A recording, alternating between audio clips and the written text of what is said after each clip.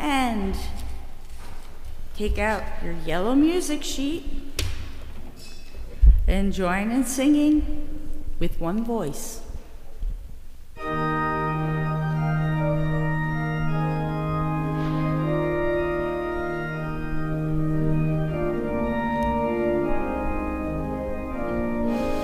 Take the word and go out to every land. Shine the light of Christ for all to see. May the lives of those we touch sing praise to God above. Let us sing, we'll sing with one voice we'll pass the word along. With one voice, bring justice to the world. And with all the angels, we'll spread the good news of God with all power and glory.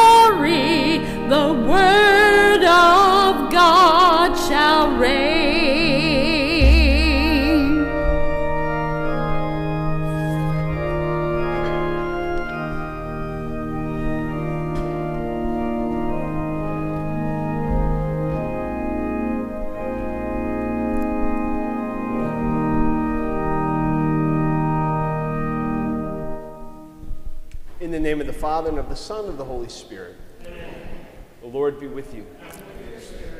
My brothers and sisters, let us acknowledge our sins and so prepare ourselves to celebrate the sacred mysteries.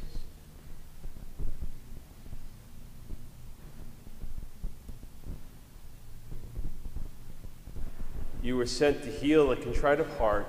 Lord, have mercy. Lord, have mercy. You came to call sinners. Christ, have mercy. Christ, have mercy. You are seated at the right hand of the Father to intercede for us. Lord, have mercy. Lord, have mercy. May Almighty God have mercy on us, forgive us our sins, and bring us to everlasting life. Amen.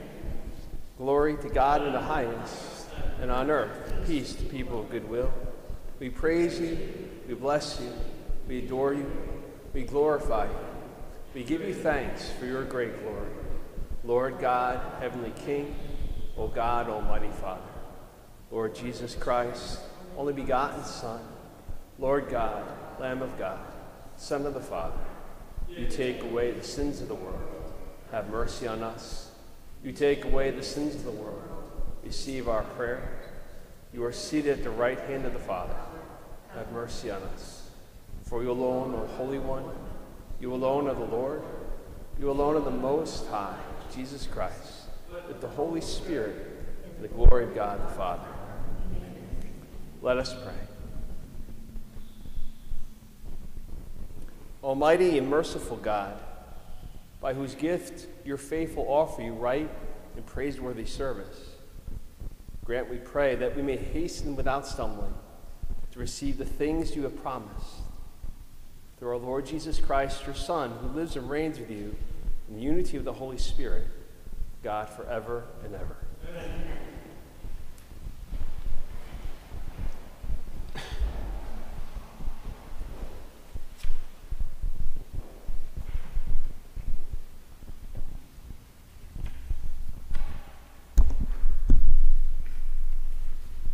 A reading from the book of the prophet Malachi.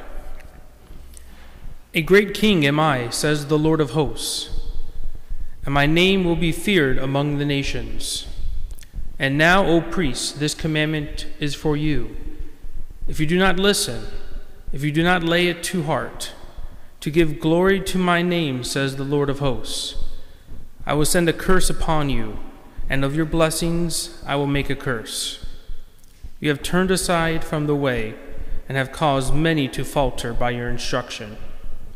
You have made void the covenant of Levi, says the Lord of the hosts. I therefore have made you contemptible and base before all your people. Since you do not keep my ways, but show in your decisions, have we not all the one Father? Has not the one God created us? Why then do we break faith with one another, violating the covenant of our fathers? The word of the Lord.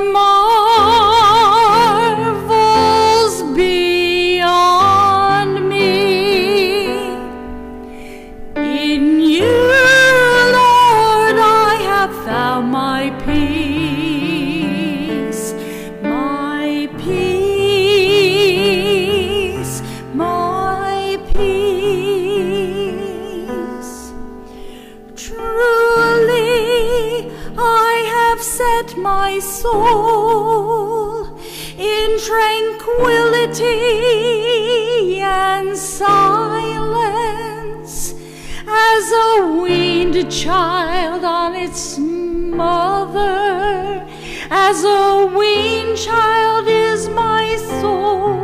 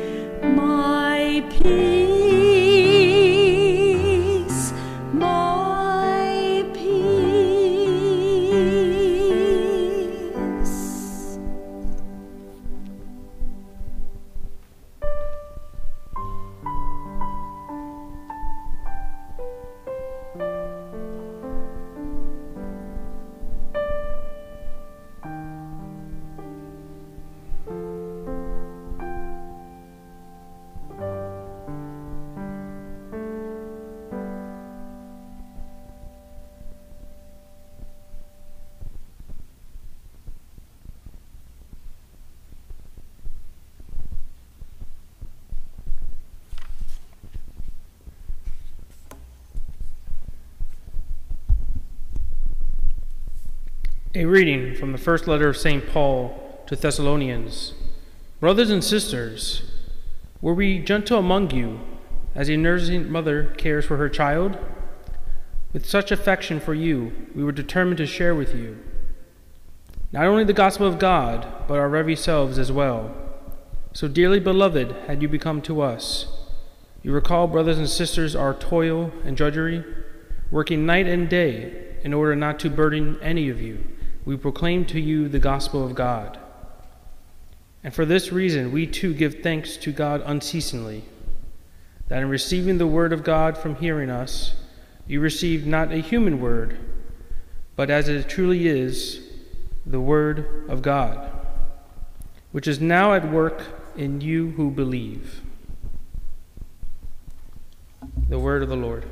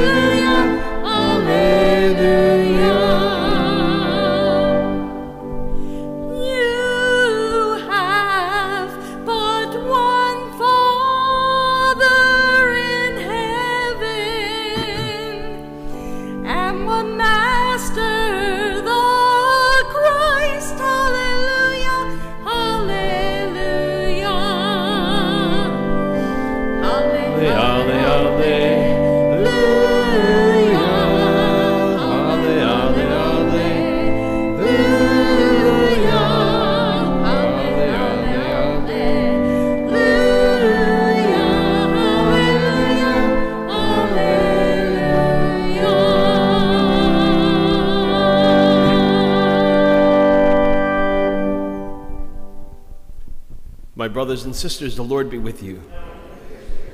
A reading from the Holy Gospel according to Matthew.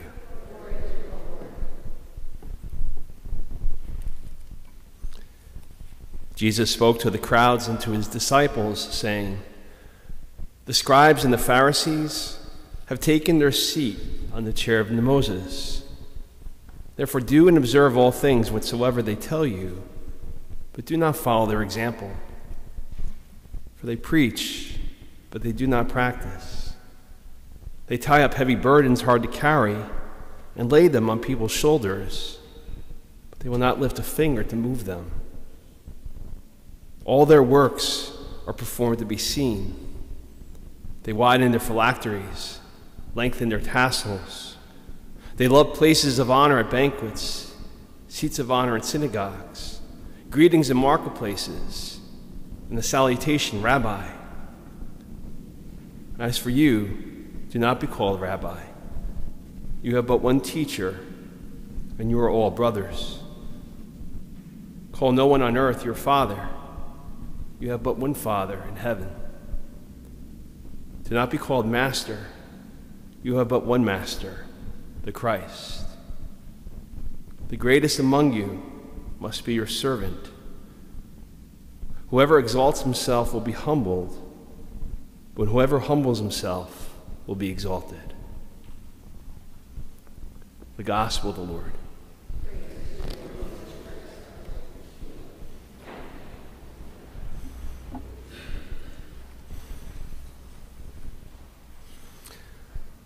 One of the things that's easy to miss in this gospel reading is that Jesus loves the scribes and the Pharisees.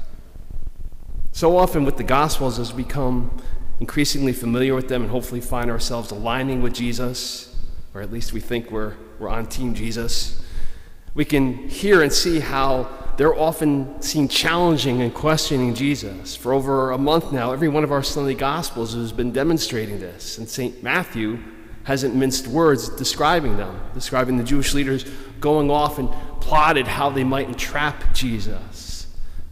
So it's obvious that they're the protagonists, they're part of team, not Jesus, and most of all the interactions that are captured in Scripture. And because He is truth, Jesus doesn't back away from their challenges. He doesn't soft pedal or spin things to get along, whether he's calling out their mistakes to their faces or pointing out their bad example as something to avoid, as he does in today's gospel. There's no sugarcoating going on when he says, The scribes and the Pharisees do not follow their example, for they preach, but they do not practice, as he launches into this sermon where he's warning of the dangers of hypocrisy. Because these individuals so often oppose Jesus and we hear these kind of responses, we know Jesus is incredibly frustrated and he's justifiably angry with them. But we can't forget why he spends as much time as he does with these debates. The reason he's having such a reaction to them is because he loves them. And when you love someone and you know them and you can see what they can become. You see the potential that exists that they're not living up to. And nothing you seem to say or do seems to be getting through to them. It can be maddening. Because at some point, at some time in the lives of the scribes and the Pharisees, their lives were consumed with love for God. They studied the scriptures, they had mourned what had happened to God's chosen people.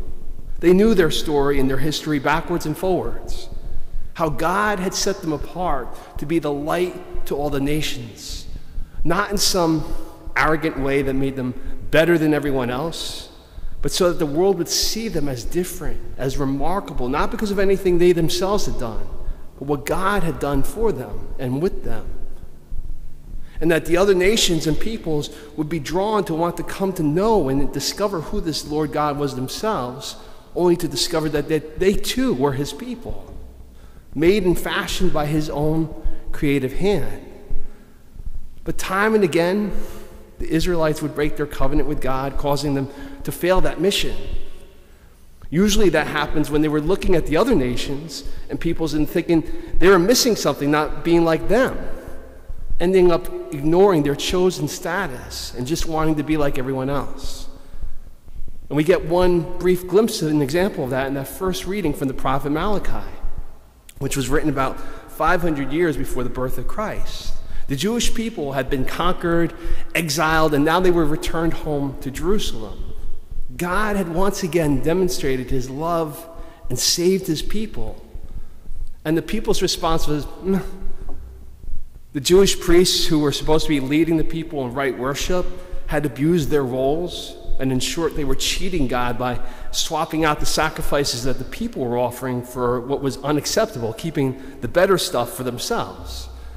And the people were watching this and followed their awful example in all the disordered ways they were living their lives, which resulted in just further catastrophes for the Jewish people.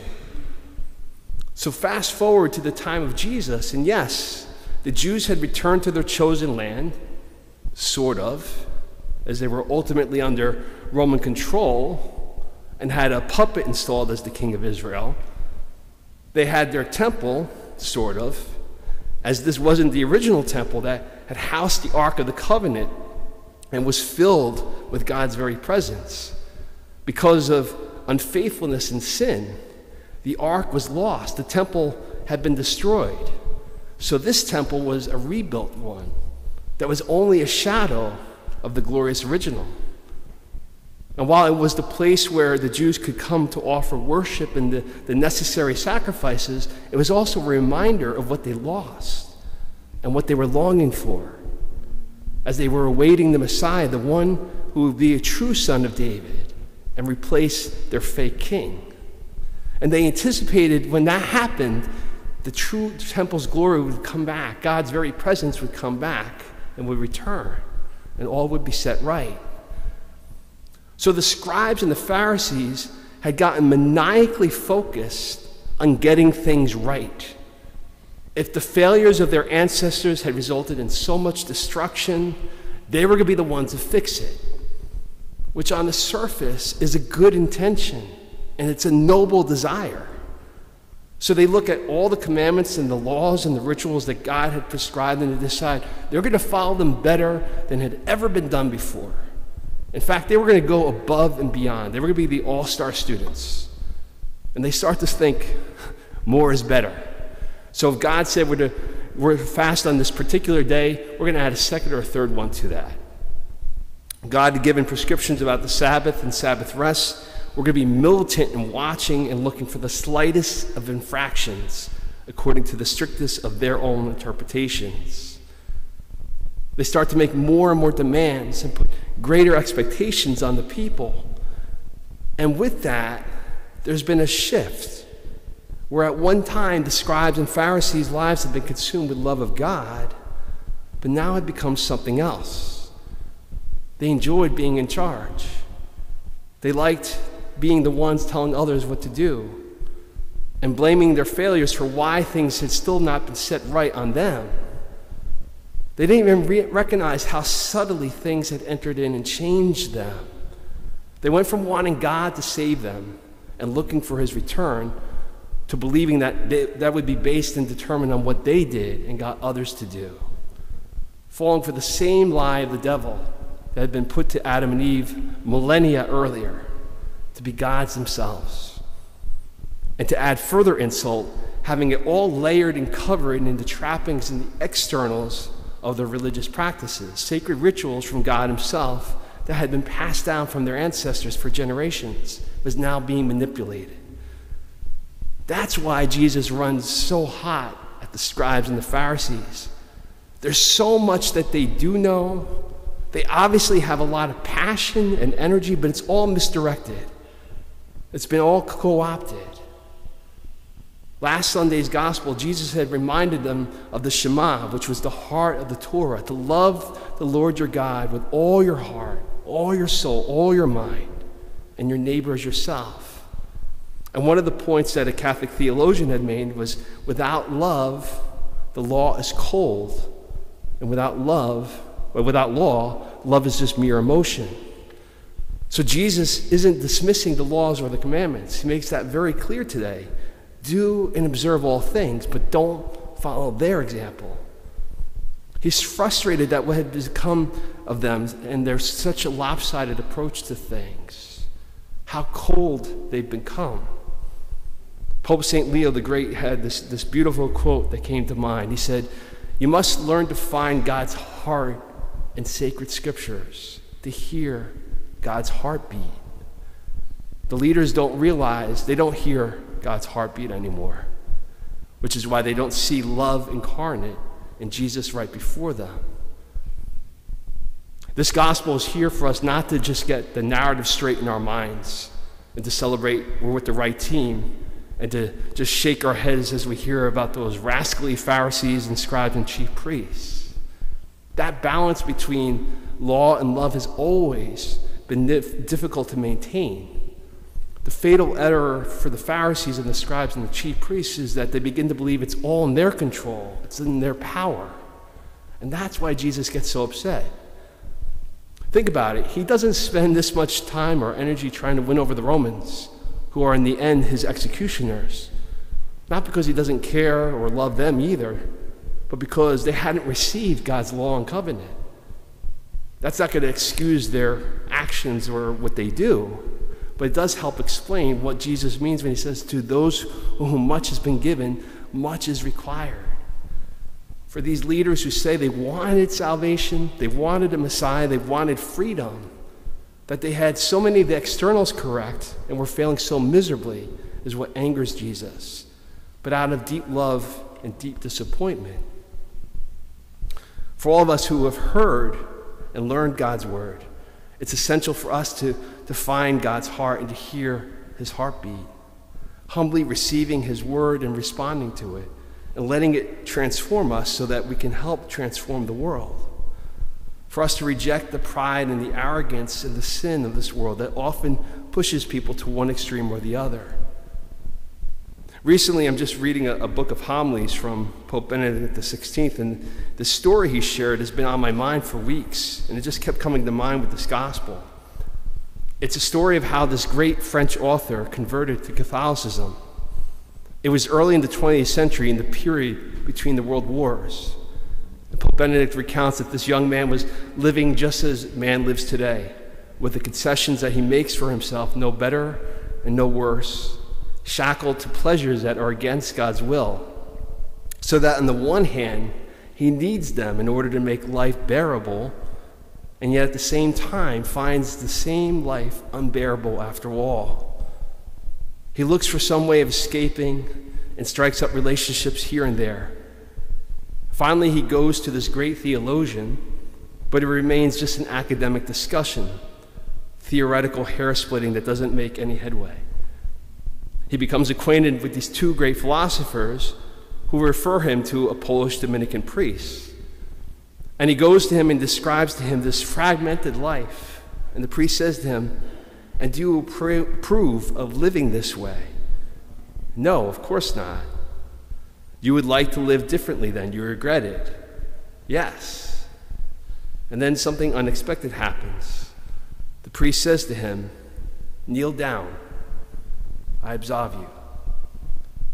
And this worldly author, this famous and seemingly comfortable in every way writer, observes, he says, Then I noticed deep down, I had always waited for this moment, had always been waiting for there to be someone, sometime, who would say to me, Kneel down, I absolve you. I went back home and I was not a different man. No, I had finally become myself again. The Pharisees, the scribes, and the religious leaders missed the numerous opportunities that Jesus puts before them to become themselves again. But praise God, you and I still have time. Time for us to actualize the potential that Jesus sees in every one of us who tries to follow him. To recognize our struggles with God's law and his commandments. To humble ourselves to ask for his help ask for his healing in the, the sacrament of reconciliation and experiencing his love and his mercy, and to find our true selves.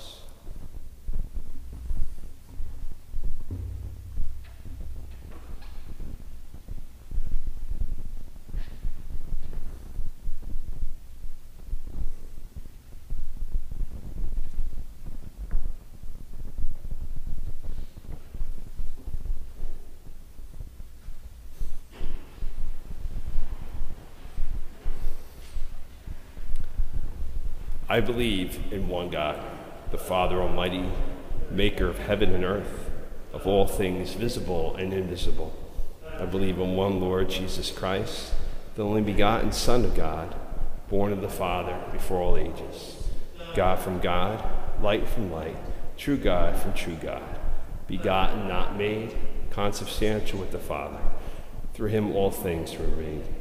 For us men, for our salvation, he came down from heaven by the Holy Spirit, was incarnate in the Virgin Mary, and became man. For our sake, he was crucified under Pontius Pilate. He suffered death and was buried, and rose again on the third day, in accordance with the Scriptures. He ascended into heaven and is seated at the right hand of the Father. He will come again in glory to judge the living and the dead, and his kingdom will have no end. I believe in the Holy Spirit, the Lord, the giver of life, who proceeds from the Father and the Son, who with the Father and the Son is adored and glorified, who has spoken to the prophets. I believe in one holy Catholic Apostolic Church. I confess one baptism for the forgiveness of sins. I look forward to the resurrection of the dead, a life for the world to come. May our prayers be directed toward God's will and for his mercy. For our church and all church leaders, we pray. Lord, hear our prayer.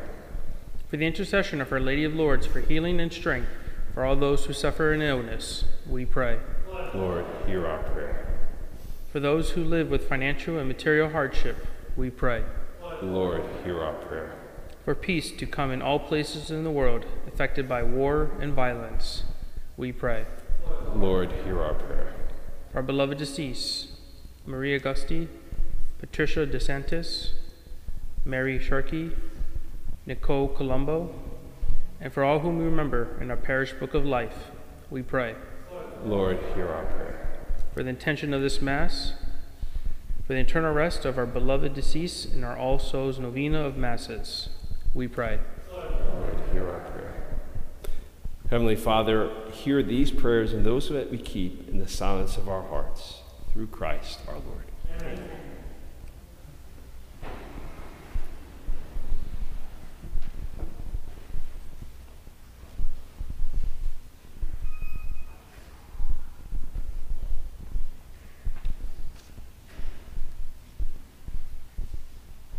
Please join in singing Blessed and Beloved, which is found on your yellow music sheet.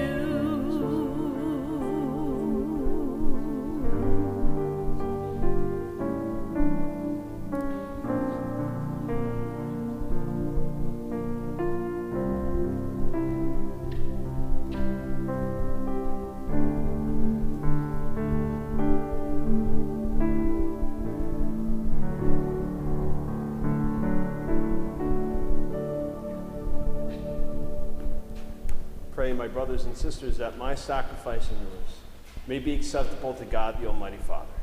May the Lord accept the sacrifice of your hands. Praise and glory in His name. our good and all May these sacrificial offerings, O Lord, become for you a pure oblation, and for us a holy outpouring of your mercy. Through Christ our Lord. Amen. The Lord be with you. Lift up your hearts. Let us give thanks to the Lord our God. It is truly right and just that we should give you thanks and praise, O God, Almighty Father, for all that you do in this world through our Lord Jesus Christ. For though the human race is divided by dissension and discord, yet we know that by testing us, you change our hearts to prepare them for reconciliation. Even more, by your Spirit, you move human hearts that enemies may speak to each other again, adversaries join hands, and peoples seek to meet together. By the working of your power, it comes about, O Lord, that hatred is overcome by love, that revenge gives way to forgiveness, and discord is changed to mutual respect. Therefore, as we give you ceaseless thanks with all the choirs of heaven, we cry out to your majesty on earth, and without end, we acclaim.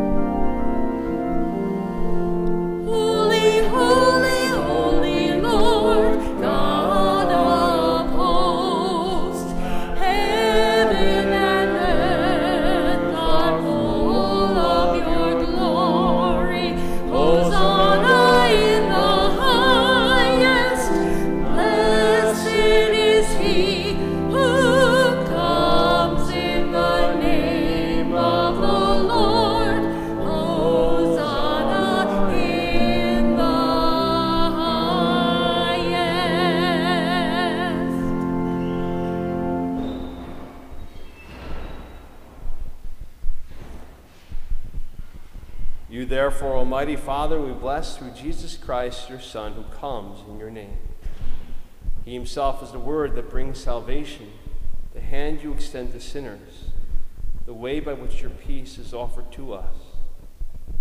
When we ourselves had turned away from you on account of our sins, you brought us back to be reconciled, O Lord, so that converted at last to you, we might love one another through your Son, and for our sake you handed over to death.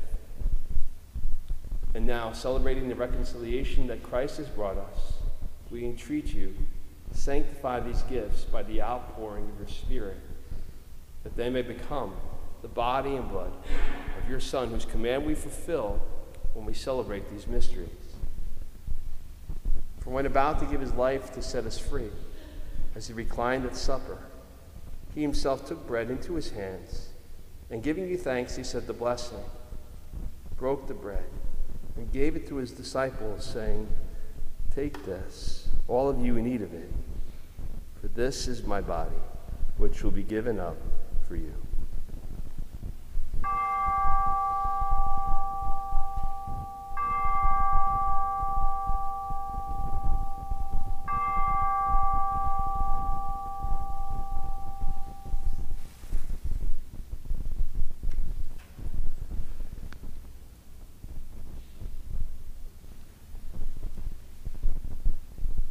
Similar way, on that same evening, he took the chalice of blessing in his hands, confessing your mercy, and gave the chalice to his disciples, saying, Take this, all of you, and drink from it, for this is the chalice of my blood, the blood of the new and eternal covenant, which will be poured out for you and for many for the forgiveness of sins.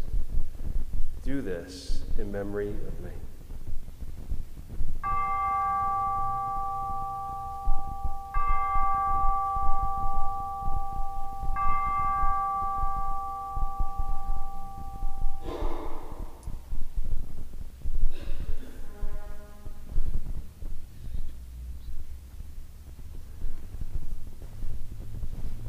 Mystery of faith. When we eat this bread and drink this cup, we proclaim your death, O Lord, until you come again. Celebrating, therefore, the memorial of the death and resurrection of your Son, who left us this pledge of his love, we offer you what you bestowed on us, the sacrifice of perfect reconciliation. Holy Father, we humbly beseech you to accept us also together with your Son, and in this saving banquet, to graciously endow us with his very Spirit, who takes away everything that estranges us from one another. May he make your church a sign of unity and an instrument of your peace among all people. And may he keep us in communion with Francis, our Pope, and Joseph, our Bishop, and all the bishops and your entire people. Just as you have gathered us now at the table of your Son, so also bring us together with the glorious Virgin Mary, Mother of God, Blessed Joseph, her spouse, with your blessed apostles and all the saints, with our brothers and sisters and those of every race and tongue who've died in your friendship.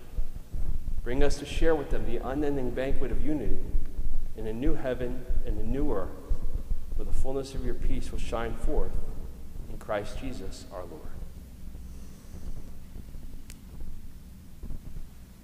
Through him and with him and in him, O God, Almighty Father, unity of the Holy Spirit, all glory and honor is yours forever and ever. Amen.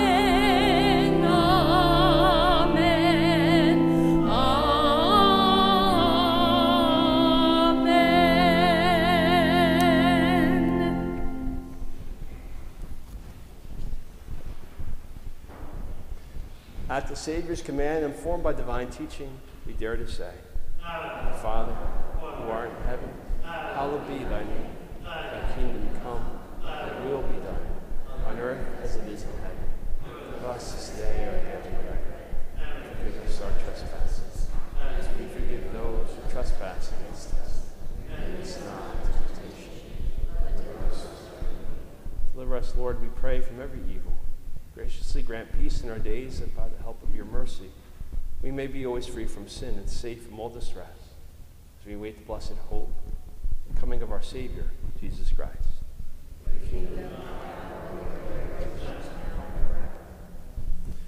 Lord Jesus Christ, you said to your apostles, Peace I leave you, my peace I give you. Look not on our sins, but on the faith of your church, and graciously grant her peace and unity in accordance with your will, who will live and reign forever and ever. Peace of the Lord be with you always. Let's offer each other a sign of peace.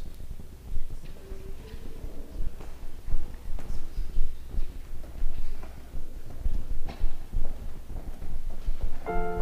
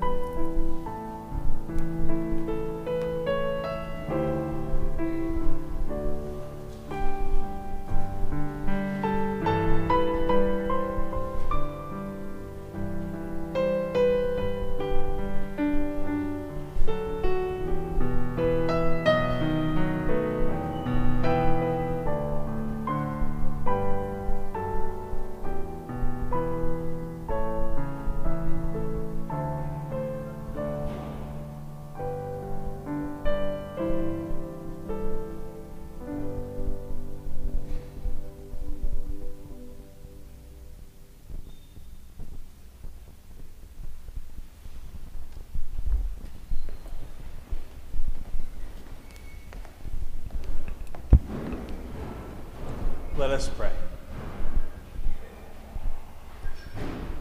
May the working of your power, O Lord, increase in us, we pray, so that renewed by these heavenly sacraments, we may be prepared by your gift for receiving what they promise. Through Christ our Lord. Please remember daylight savings time is ending, and you don't have to set your clocks back one hour because every clock you own will automatically set back one hour. But the ones that don't set back automatically one hour, you have to set those back. Um, on Saturday, December 9th, uh, we're looking forward to a concert with our choir, our children's choir, and our adult choir, which will take place immediately after Mass on Saturday, December 9th. So mark your calendars for that event. And this is the anniversary weekend of our parish. We give thanks for Our Lady of Lourdes Parish, 109 years. Um, thank you for all your support. Uh, we pray for all of our beloved loved ones, our deceased of our parish, this month especially. Thank you. The Lord be with you. May Almighty God bless you, the Father, the Son, and the Holy Spirit. Amen. Go forth, the Mass is ended. Please open your hymnal to number 783 and join in singing Immaculate Mary.